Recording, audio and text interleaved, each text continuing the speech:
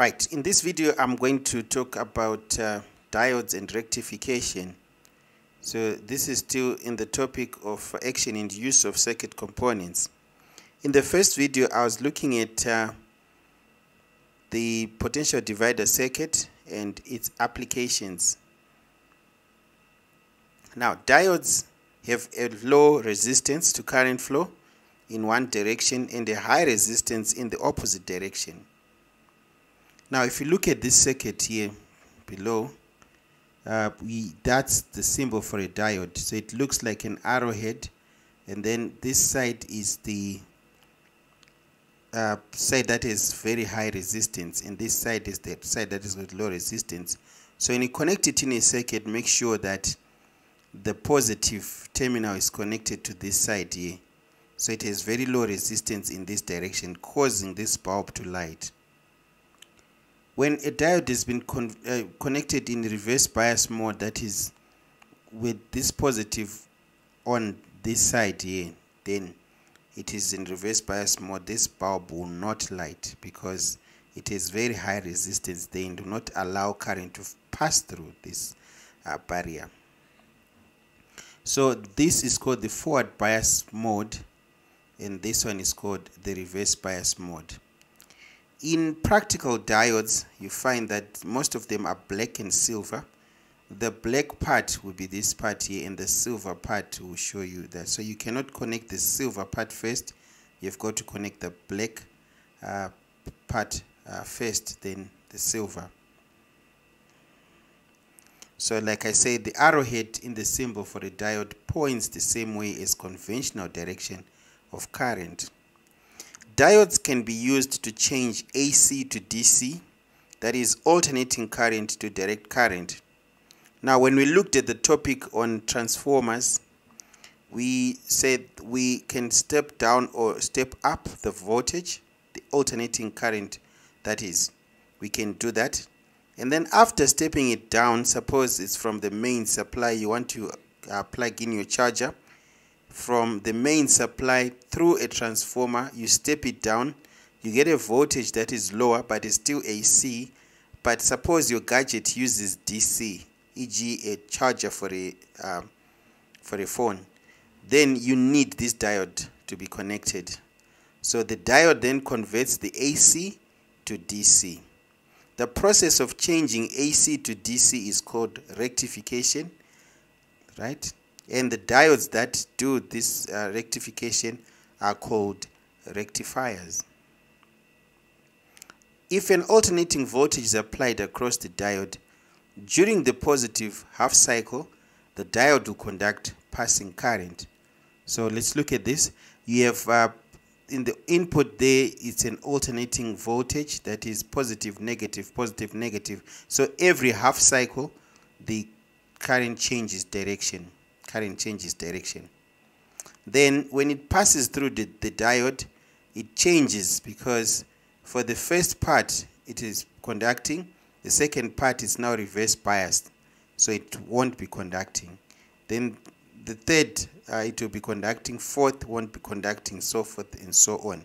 So effectively we have blocked whatever was uh, in the negative. So the negative half cycle will be blocked throughout and you only remain with the positive side. So what you have created there is uh, a, a, a direct current signal.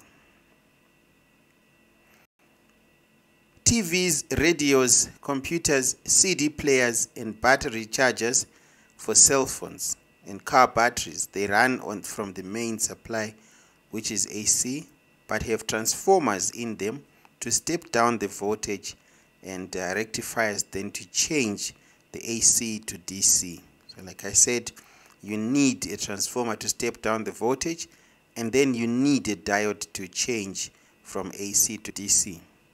Now, like I said, this is called half-wave rectification. Only half of the signal has been rectified. Full wave rectification can be achieved when you connect a bridge rectifier.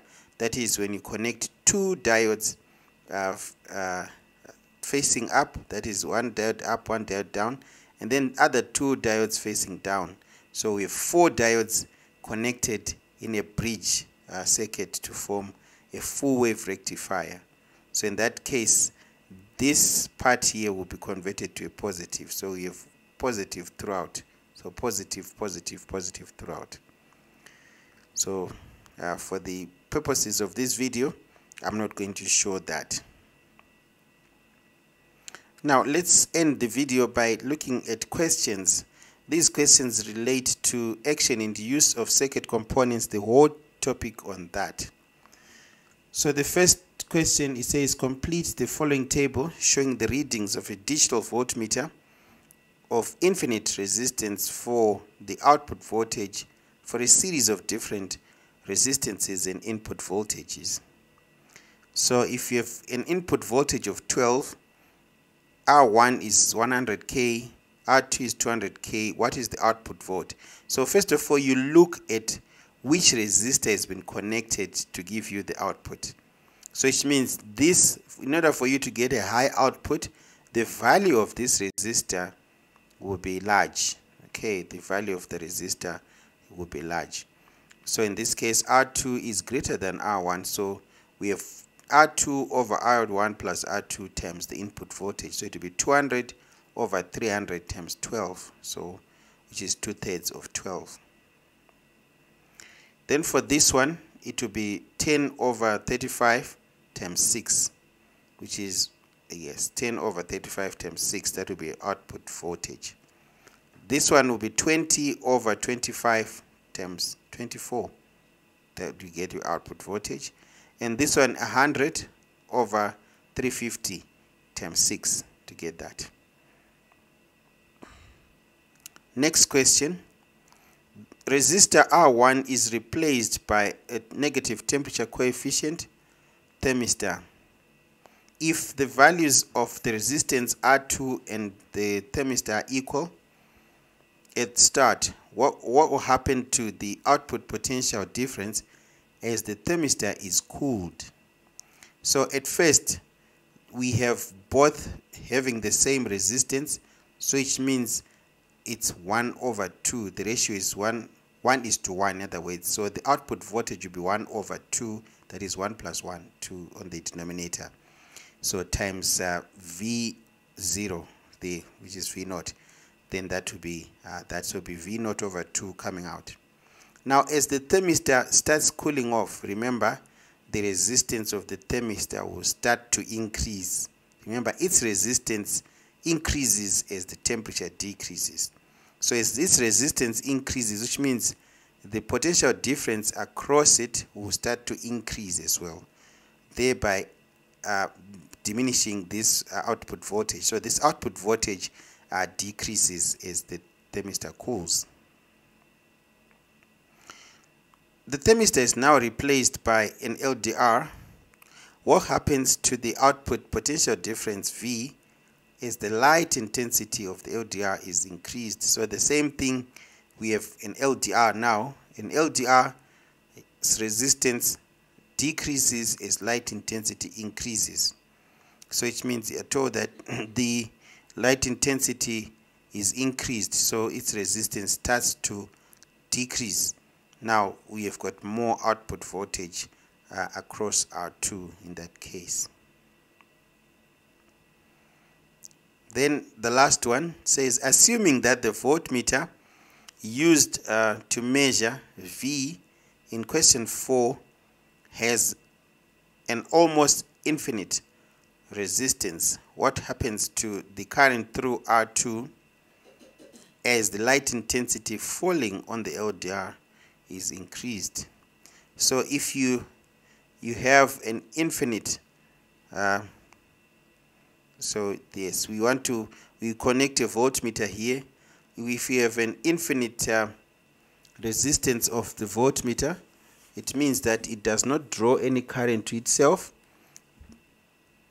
And the resistance uh, let's see this is the resist values of R2 and R1 so R2 right? Now, assuming that the voltmeter used to measure V in question 4 has almost infinite resistance, what happens to the current through R2 as the light intensity falls?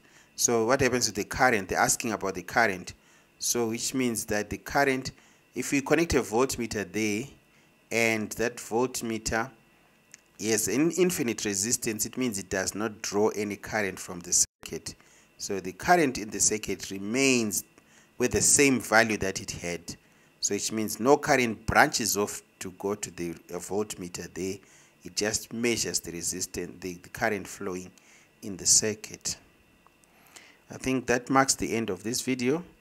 Uh, please, if you do not understand any part of the video, uh, feel free to ask questions in the comments and I'll be happy to assist.